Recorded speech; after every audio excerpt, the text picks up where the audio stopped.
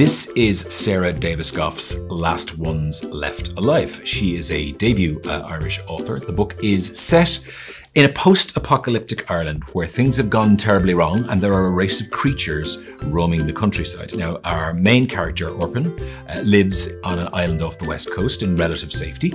But something happens fairly early on in the book, although I don't want to reveal it to you, that then requires that she has to travel across the country and witness what has happened whilst attempting to save somebody she loves.